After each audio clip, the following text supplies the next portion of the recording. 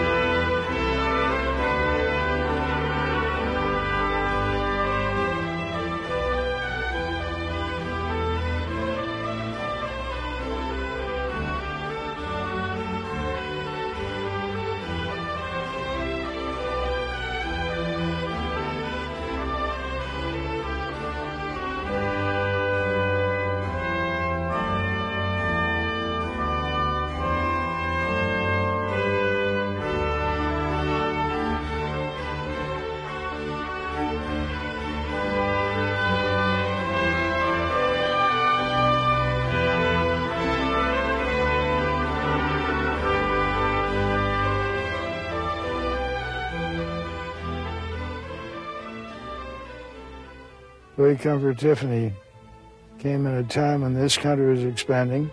We were building great railroads, opening up the West. We were building many, many, many buildings, many cities. There was a question of taste. What was good taste? He was against uh, the the uglification, we'll say, of uh, the country, and he was uh, uh believed in building beauty into it, and uh, he believed that beauty was uh, simplicity, and he wanted young artists to do two things. He wanted them to study nature and to uh, uh, find a kind of beauty of their own. I, I had been awarded a fellowship to the Tiffany Foundation for September and October, the year I graduated from Rollins, which was 1930. It was a surprise to me. My father had submitted a painting that I'd done, or a couple of paintings, and I'd gotten the award without knowing that what he was doing. His foundation was uh, was not a school. He didn't know the terminology of education. He shouldn't have called it a school. There was no instruction, there never was any instruction. He didn't believe in instruction his dream was that that the foundation would go on forever. Young people who had more or less matured as as painters or or designers or sculptors or photographers or any one of the visual arts and help them get established in the arts and you'd you'd go there and work for uh, two months and live um, you can set any way you want to. Live beautifully live high on the hog, whichever way sounds right to you.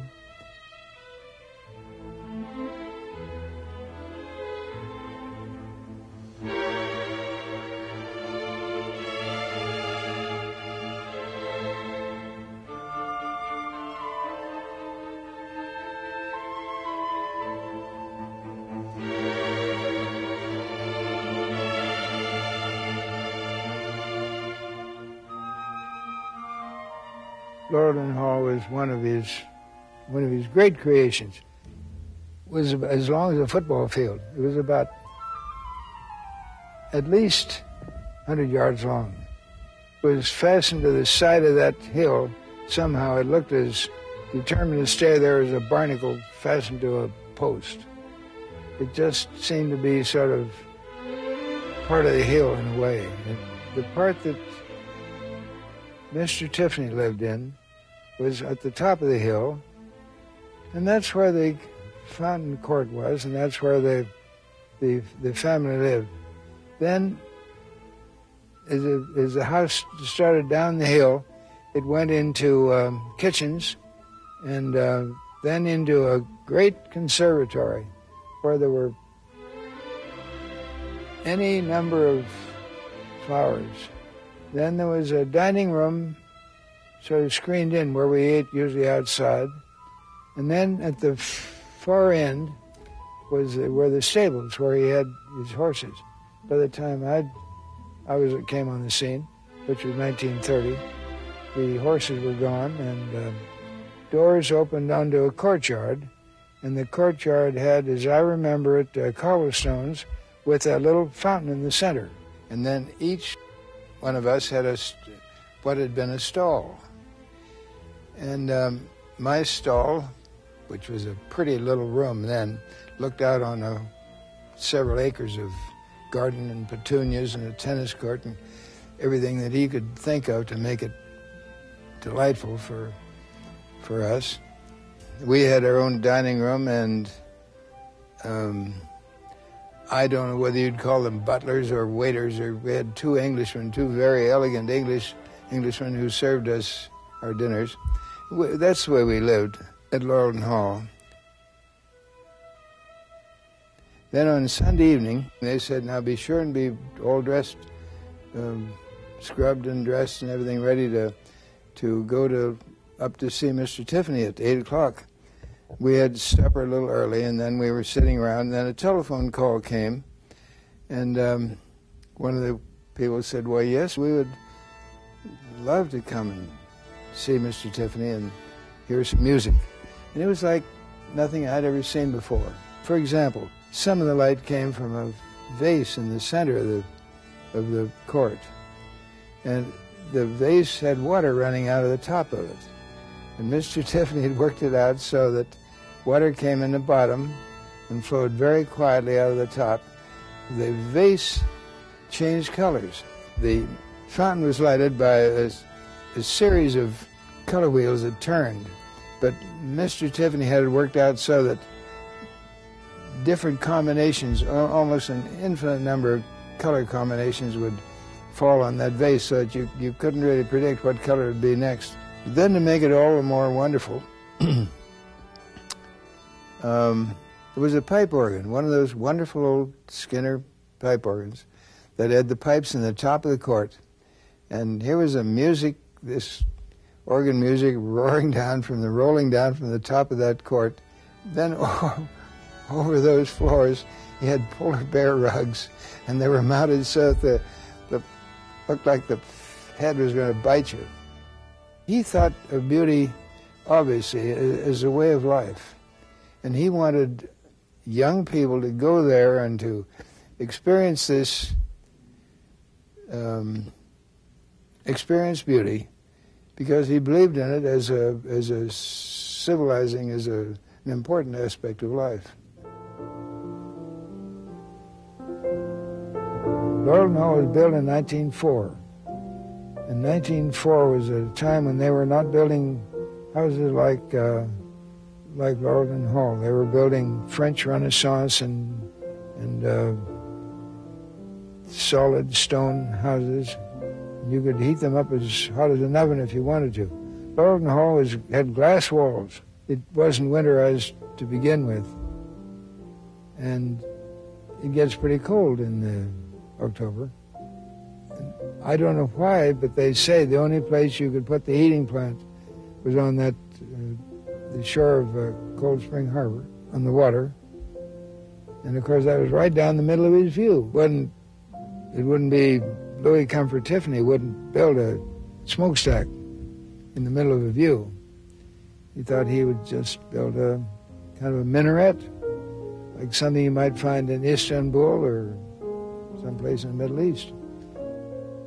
I arrived at Oyster Bay one evening. I didn't know the railroad system well, and I arrived in the wrong, on the wrong train, coming from the wrong direction. But even so, a chauffeur in a car met me and took me down a long, about a mile long or so driveway, a gravel driveway with espaliered fruit trees over good part of it, past fields of flowers. And uh, the driver explained to me that uh, Mr. Tiffany insisted that every young person coming to his foundation come in the formal driveway the first time uh, because he wanted it to wanted them to understand that they were his guests. And he said after that they can use any driveway they want to. He had bright blue eyes. Now this was the first time I'd ever seen him, or he'd ever seen me. He got out of that car. And he had two little dogs. He was crazy about animals. The dogs were jumping so high that I thought they'd knock him over. And all the excitement and commotion of him driving down and getting out of his car. And yet he turned around to me and said, Good morning, Mr. McKean.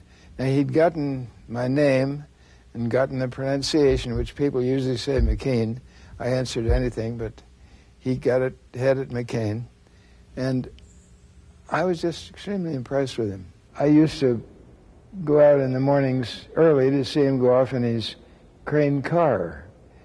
And it was partly because I was amused by it, partly because I was impressed by it, and um, partly because it was charming to see this little old man in that beautiful car. Now here's what it was like. It was like a, like a telephone booth on wheels. Sounds kind of silly, I guess, but it was all vertical. It was built in 1912 by Mr. Crane, who lived on Long Island, and he built 28 of them and, and numbered them. And um, Mr. Tiffany liked it because it was handmade, and he liked handmade objects. And I, if you would, at Laurelton Hall, if you'd get up and eat breakfast early, then you could see Mr. Tiffany roll off about 8 o'clock. Now, this is not to imply that I was Mr. Tiffany's great protege, because the picture that I sent to the foundation to, or the picture that my father sent the foundation to get me that fellowship, was a very pleasant painting of the sugar mill at New Smyrna. But after I had made that picture, I got more interested in, in, oh, I suppose social protest or other aspects of American art and my style had changed. So when I got to the Tiffany Foundation, I was painting different kinds of pictures. And Mr. Tiffany was committed to the cause of beauty.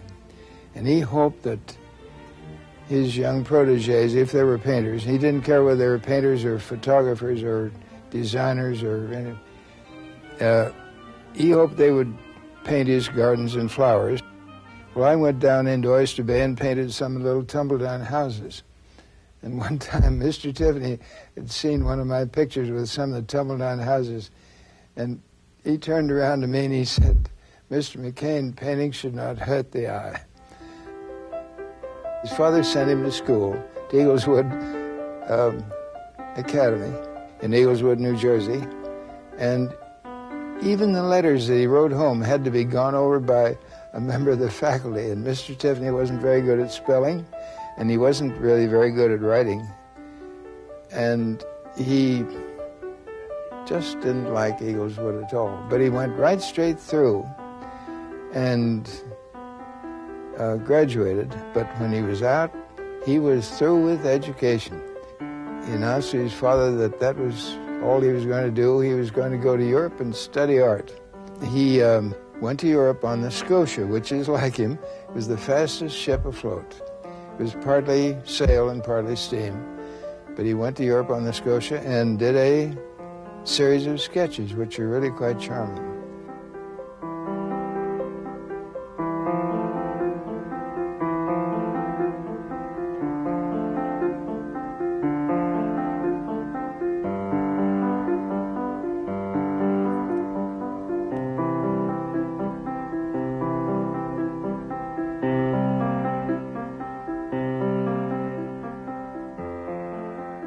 Then his, his success as a painter was almost as a painter was almost phenomenal. He was by the time he was 32 or 33 was a, a, a member of the National Academy.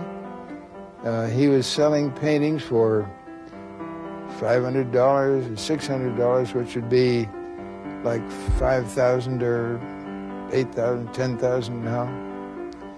Um, and he was ranked as one of the leading young colorists of the country. Mr. Tiffany had one of those bright minds that you, you give him something new and he was right at it, make, making something with it. The British, I think, give him more credit as a photographer than we do. And I've some of them um, rank him along with Muybridge bridges, being one of the one of the uh, first in photographing figures in motion. I think he used the photographs quite a bit in his paintings. And uh, you know the the camera was a great shock to the painters, especially, the French. Some of the French painters thought the government should simply ban cameras, and some of them thought that the painters should give up and just turn their brushes in and go into something else that the camera would put them out of business. Louis Tiffany was not like that. He uh, business methods didn't bother him in the least. Um, the camera he thought was wonderful. We have a, a beautiful painting of his family at Summersville. I think he took a photograph of the family with the white cow. Then I think he made a sketch. Then I think he made a painting from the photograph and from the sketch. So I, I think that's a we we don't. I, I haven't seen the photograph, but I think if you look at it, you can see that it's obvious. It, it, it's to me looks like it's taken from a photograph. As a painter, Louis Tiffany realized that he could reach so many people with his paintings.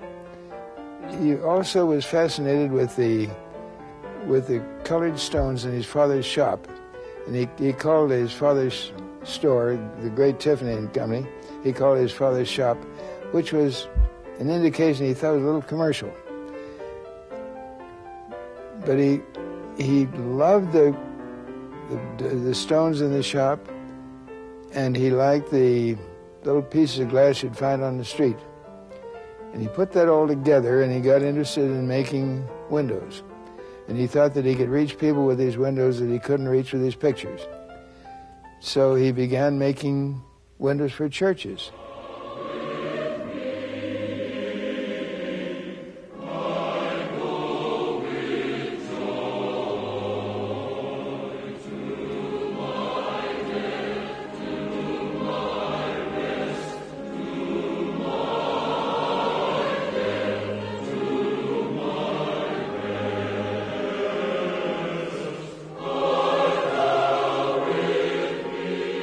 His interest in glass, of course, was probably fired also by his trip to Europe and especially his visits to probably the Saint Chapelle in Paris and the Chartres Cathedral in Chartres.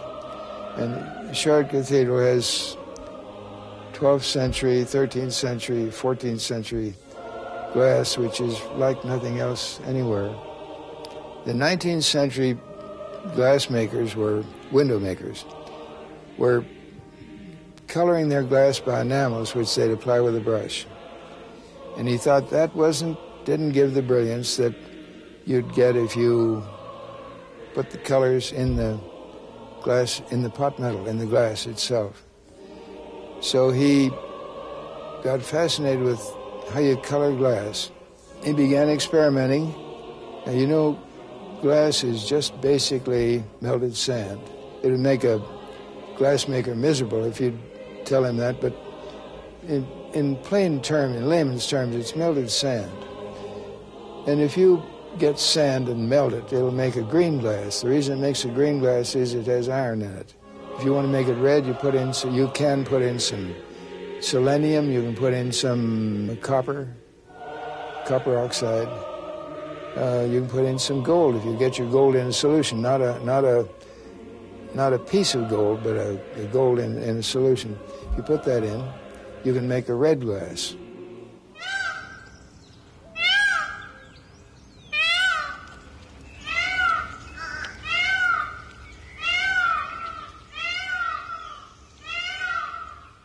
Now, I'm only mentioning those, as I say, not to tell someone how to make glass, but to point out that making glass is a complex matter, and it's fascinating that Louis Tiffany could pick it up and do it, and do it better than uh, anybody else had ever done before, and that it's perfectly obvious that he did. So he learned chemistry on his own, but he also engaged a chemist. And then he engaged other people who, who knew how to make, make good glass. Now, uh, the question is, why did he go to the trouble? Why did he, why did he want sheets of glass with, with so many different colors in them? Well, I think that one reason is that he was a painter. He was always a painter. He was very, very, very exacting about how things should be done. He'd inspect any window before it was to leave the studio. Now, there are two broad classifications of windows those that he designed himself, and those who were designed by his staff. And he had good artists. Will Low was one of them, but there were a lot of others. And but whether they were designed by himself or by others, uh, he would examine them before they were about to leave. He'd find one little piece of glass that was just the wrong color or the wrong texture, the wrong something other. He had a little stick and he'd punch it out. Then they'd have to bring in sheet after sheet after sheet of glass. And this is the way that worked. He had 5,000 coated colors of glass in his workshops. So that he, I, I don't know what the numbers were, we'll say G 26 might be green, a certain shade of green. And he would give the number that the thing that he wanted, and they would bring in these sheets of glass. He would maybe take the little piece right out of the center, then they'd have to cut it, cut, cut that out, and um, put that in where it ought to be, and then send the window off. On one of these inspection trips, they looked up, and here was Mr. Tiffany coming along and one of them said the other, and here comes trouble. And before long, he had punched out two or three little pieces of glass, and then they had to cut, search, and cut, and fit, and search, and cut, and fit to fill it up, and it was trouble for, for them. He never gave any consideration to expense um, of any, anything he was making. Some of them would leave him, as you might imagine, but they never left, so far as I know, they didn't leave in, in anger. They would leave and set up their own shop. There is this old story about the secrets of the Tiffany glass. And I'm told by people who cut glass, I'm not one of them, but there are people who cut glass. They say that Favrile glass, that's the glass that he made, um, cuts better, easier and better than any other glass they've ever seen. I can't tell you why.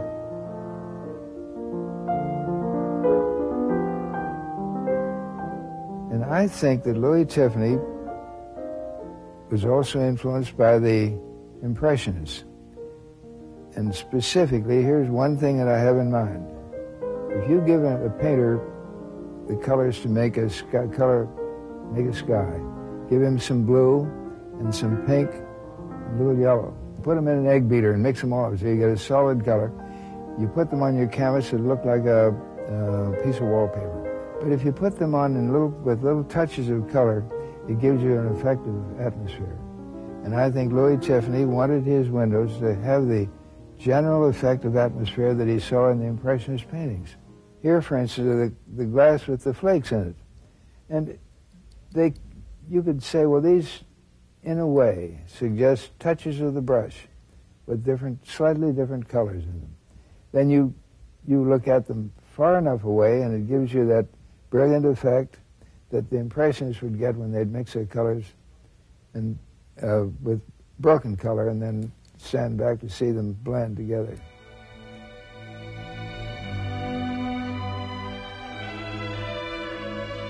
The entombment window illustrates one kind of window that Louis Tiffany made himself.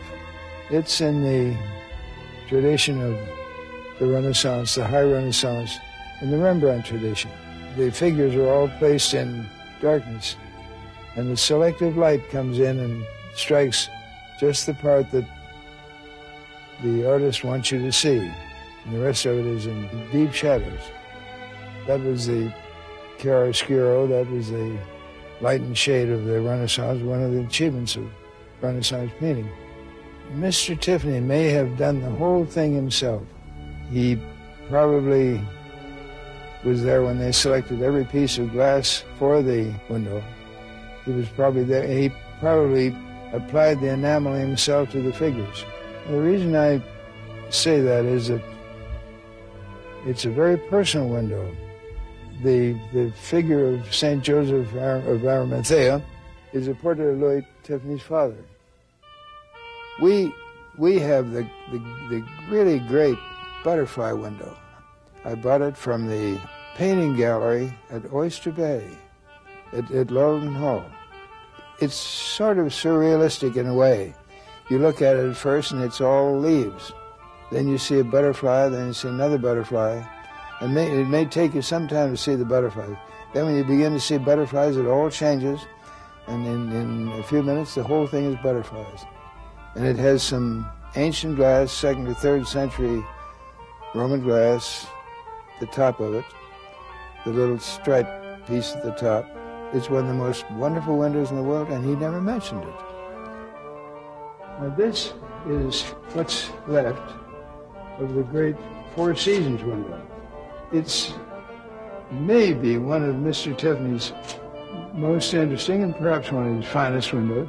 In the first place, it has no enameling whatsoever. It's all a mosaic, a piece of colored glass. It was made for the great um, international exhibition exposition in Paris in 1900.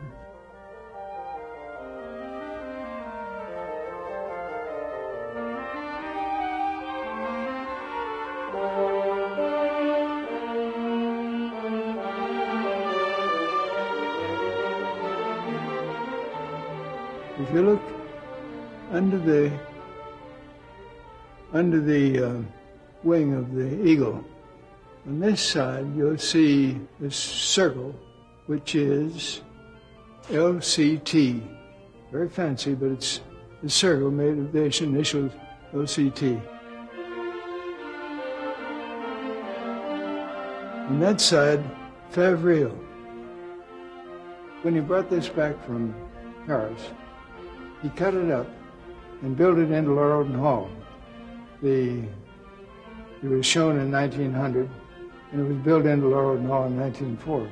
So there's no, no place for him to use the window except there.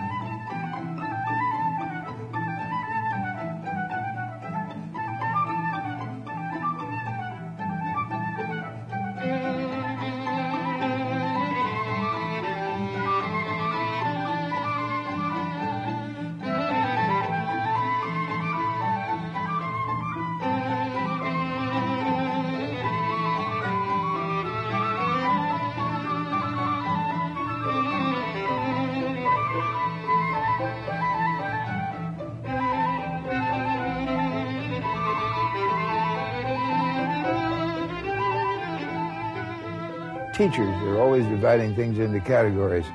Is vases, for example, into two categories. One is vases that tell you something about the beauty of nature, that be made like a blossom.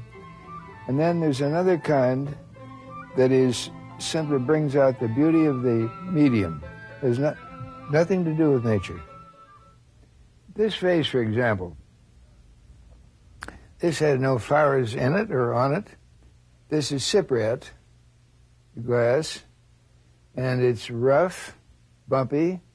I think this is this is probably lumps of powdered glass that the the hot glass is rolled in.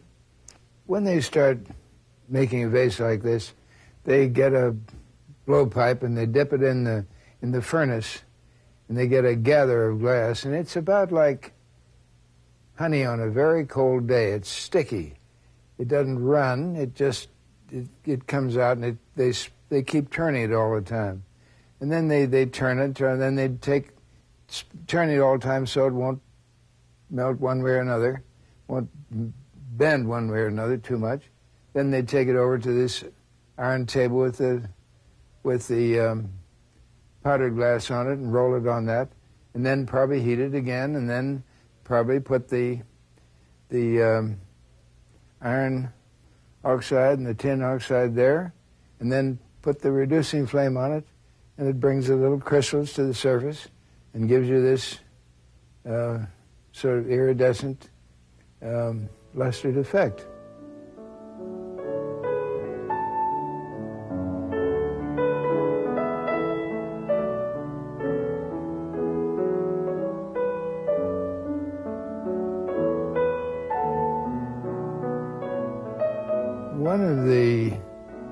Ideas that were having a tremendous influence on the thinking of the of the 19th century, the late latter half of the 19th century, was the reaction against the Industrial Revolution.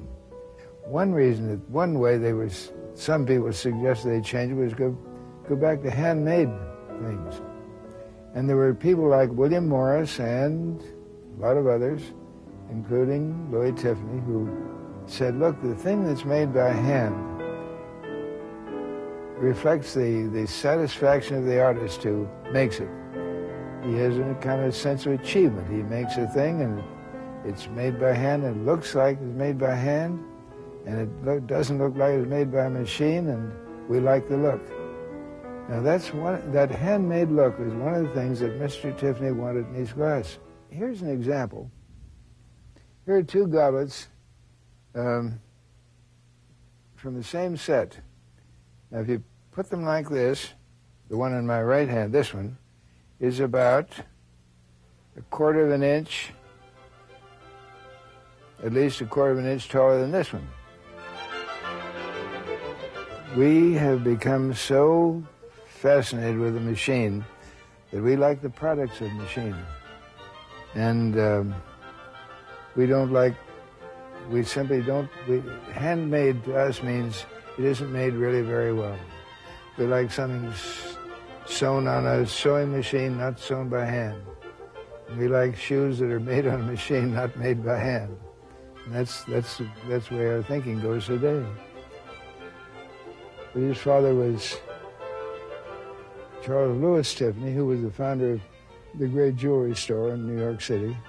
He really was the diamond's best friend. He obviously liked Louis Tiffany, and he was obviously disappointed that Louis Tiffany didn't go into the store. And Louis Tiffany obviously loved his father, obviously. But they, there were obvious differences between them.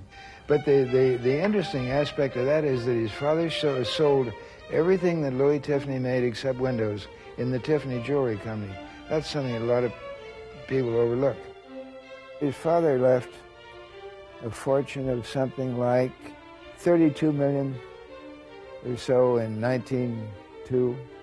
32 million dollars in 1902 was an awful lot. It's a lot of money anytime, but it was a tremendous amount of money in 1902.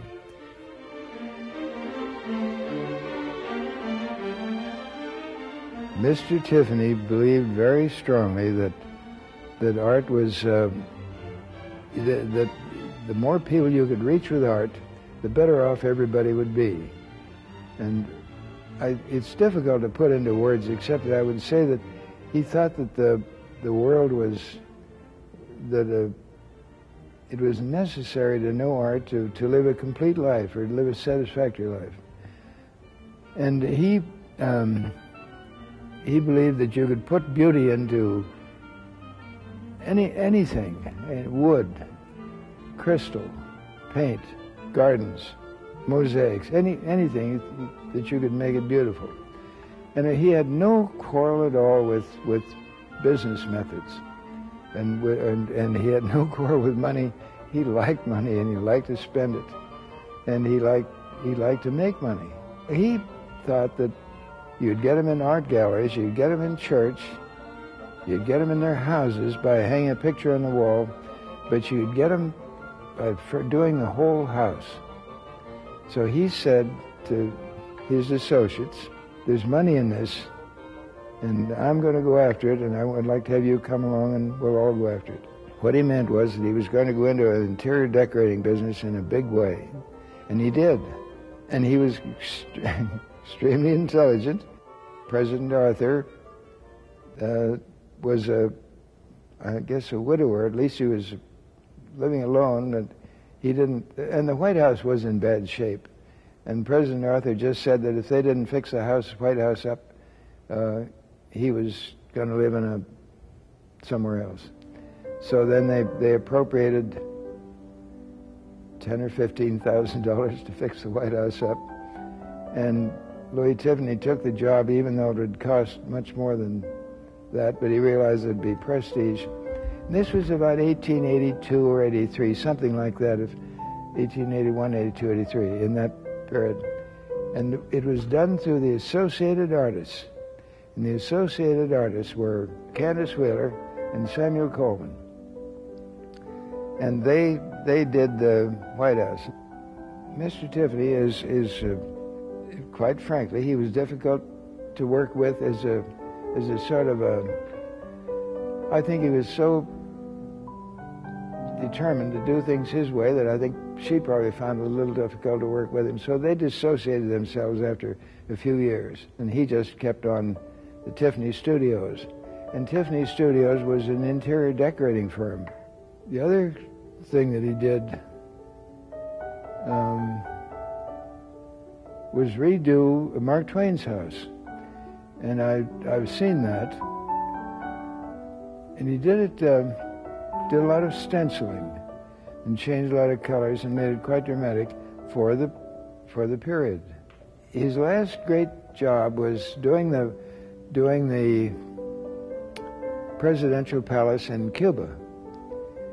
And I think it's kind of interesting. He did the White House for something like 15, I, I could be wrong, in the, something like $15,000 or so. The, the downstairs of the White House. Well, I think the one of the bills for incidentals for the Cuban presidential palace was over $100,000. $100,000 uh, I think he, he tempered the wind of the shorn lamb, so to speak.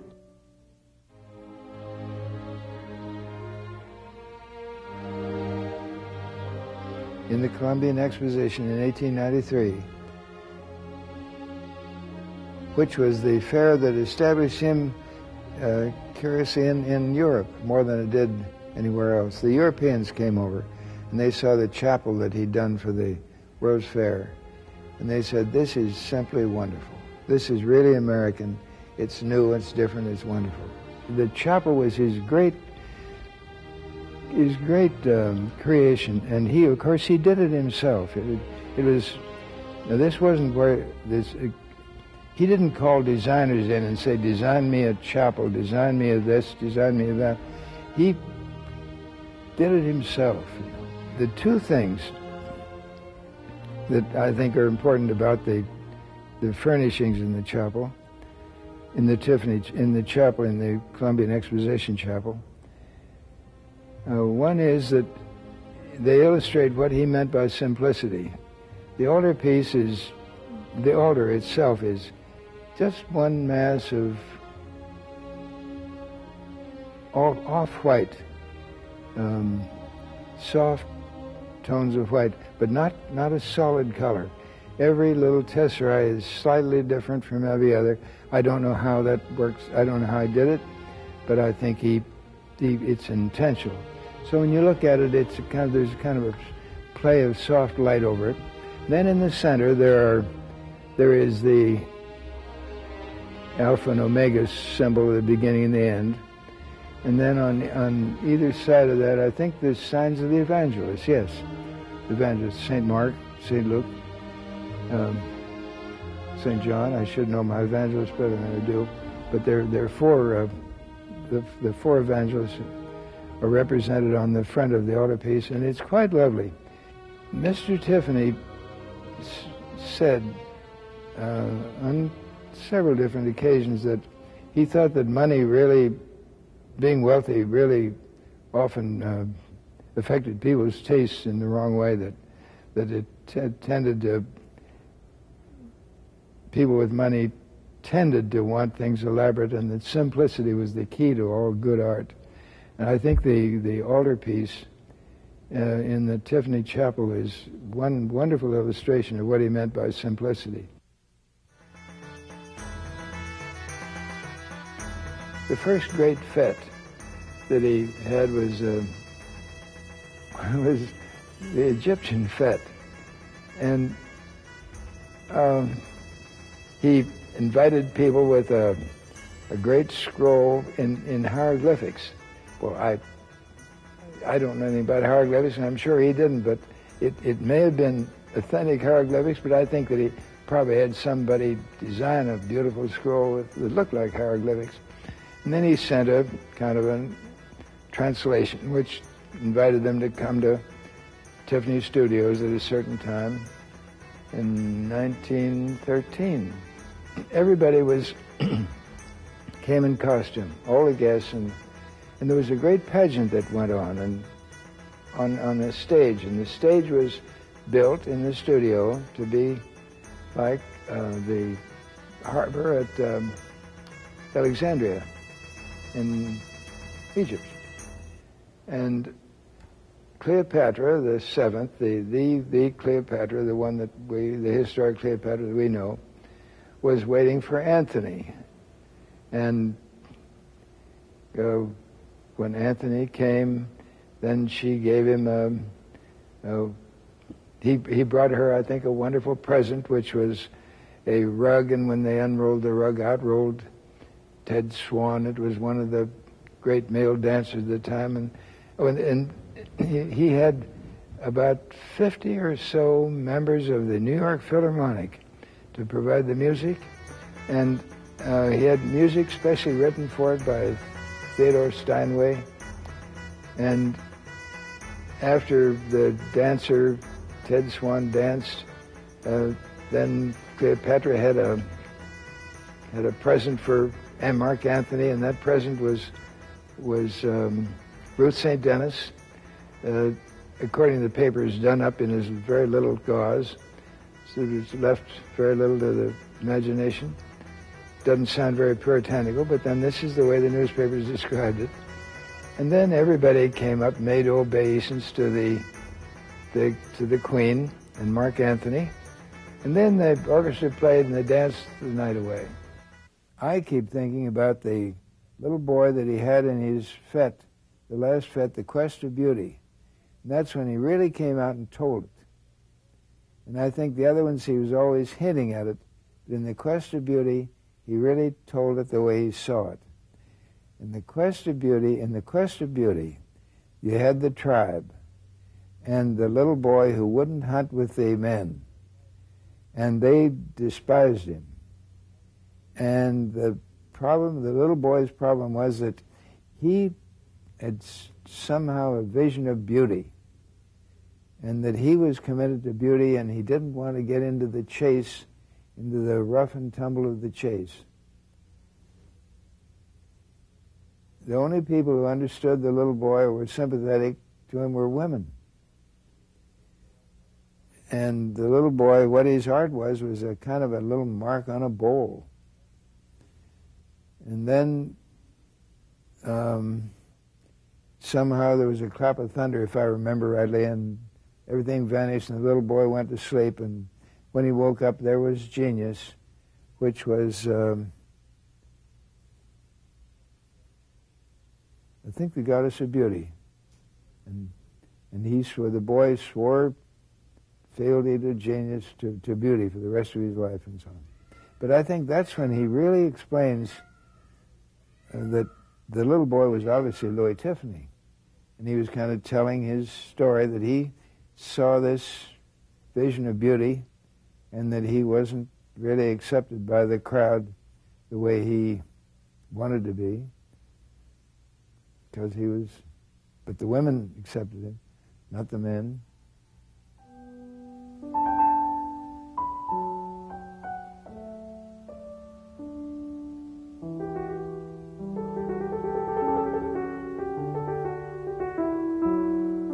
Tiffany began to go downhill. His fortunes began to decline. I suppose one convenient date would be the 1913 Armory Show when they brought Picasso and Matisse and Duchamp, especially Duchamp's uh, Nude Descending the Staircase, to this country, and they they swept right across the headlines of all the the newspapers. Uh, it was a new art, and Mr. Tiffany was very, very much out of date, and very angry about it, and hurt because he'd been left out of the show, and he said he was glad to have been left out of the show, but I don't think anyone really likes to be left out of a show. He was left out, and he was angry. After the war, after 1918, this country lost its enthusiasm for columns and capitals. You couldn't get people terribly excited about putting 50 or 60 wonderful big Roman columns. They'd say, why put the columns there? And why, why refer to Rome? What's great about that? And after the war was over, they had to build, do a lot of building fast. Some very sensible people said, look, this is a waste of time to put flowers on the outside of buildings. Let's make them functional. And the Bauhaus, the great Bauhaus in Germany, came out with its proposal that form should follow function. And they began to, um, the idea that a building should do anything more than serve a purpose was seemed rather out of place in that fast developing world. And Mr. Tiffany became more and more uh, out of fashion. As time went on, that I was there in 1930, but see, his art was then ridiculed. He was a, kind of a joke. They, they sort of giggled at him. A lot of the young people didn't really appreciate what was being done for them very much and didn't really appreciate it. They were polite to him. They were nice. They were a nice crowd, but they didn't really uh, have any any particular interest in him there were three of us who, who thought he was wonderful. We were kind of a little irritated with the rest of them because uh, we thought he was wonderful. Mr. Tiffany was one way to describe it. He lived high on the hog, but that doesn't really suit Mr. Tiffany. He lived well. He went. He traveled in a private railroad in a, in a private railroad car, which he rented. I don't think he owned it, but I think he would rent a railroad car when he when he came to Florida uh, when he went to the theater, he always had it worked out so his car was right in front. When he went to Europe, he would go on the, they'd travel in the Imperial Suite or the Royal Suite of the, of the ship, not just in a stateroom or car or a suite. Mr. Tiffany didn't really know how to adjust to the fact that he was short on funds. Then, of course, the crash, the 29 crash came along, and that was um, simply a tragedy that hit the country, and it affected most people. Now, he was bright and he knew what was going on, but he was a little feeble too.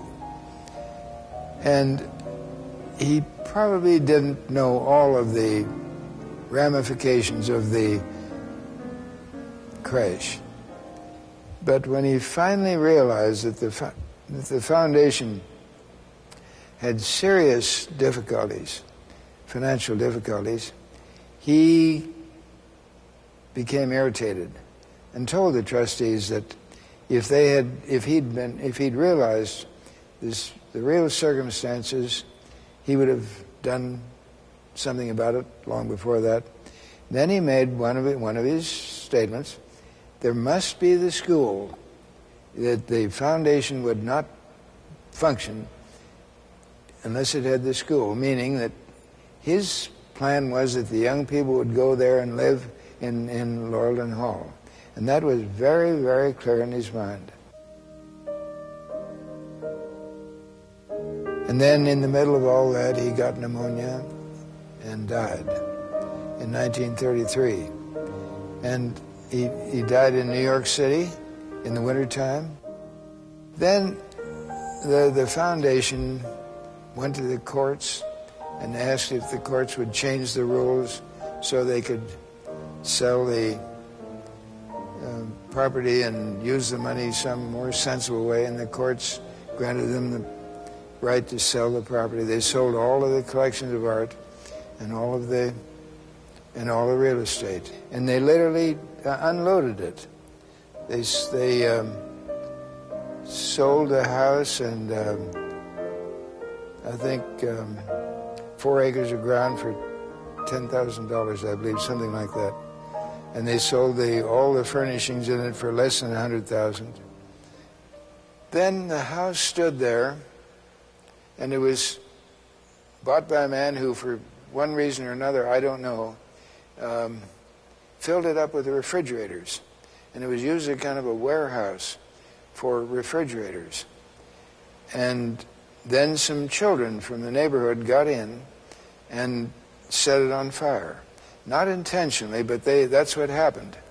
Um, and it was it burned in, oh, I think 57 probably, and that was the end of Laurelton Hall. My wife Jeannette liked it. Her parents had been given Tiffany Glass as wedding presents. So we went to Oyster Bay. We looked over all of the place and all of the all the, the, the wreckage. And it was just sort of blackened pipes and, and things standing up against the sky. It was a disaster. It looked like, well, the, the, the house had burned up. Curiously, or happily, someone, some bright person had taken a lot of the windows out and piled them in the chapel. And the chapel was in a little building by itself. So Jeannette said, we must get everything that's here and take it to Winter Park, Florida. Uh, uh, we were running the Morse Gallery on Rollins campus. And I was the director, and she was the director of exhibitions. Curiously enough, all of these, what he considered his masterpieces, things that had stunned the world with their beauty and so on, all that's left of them is down here in Winter Park, Florida.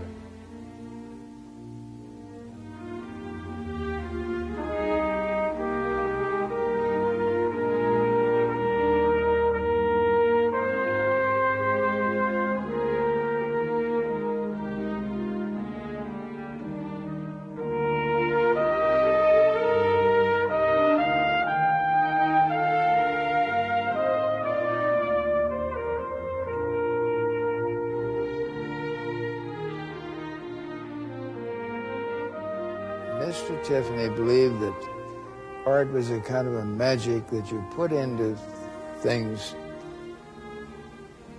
which will somehow vitalize young people in the future. And he thought he had charged Laurelton Hall with beauty of all kinds. And I think he thought about that as a sort of a, a fete that would go on forever. And he thought this was he thought Laurelton Hall would be there forever. The young people would be coming there and listening to the pipe organ and looking at the vases and looking at the windows and working on their own art and swimming in the bay and playing tennis on the tennis courts. And, and I think that he thought that would simply, it was a permanent uh, fete. And I think that was his, his legacy, his commitment to, to beauty. It was a kind of a religion with him in a way.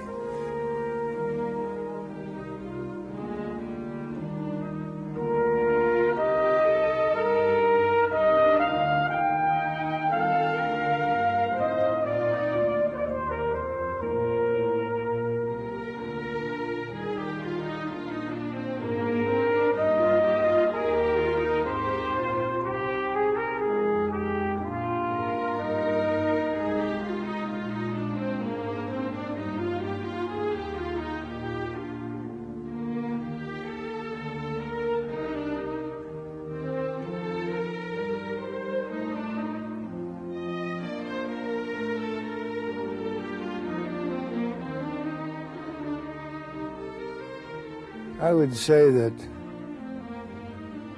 when they covered him with a blanket of pink carnations and buried him in the rolling hills of Brooklyn, they marked the end of a good life and closed the career of a great man.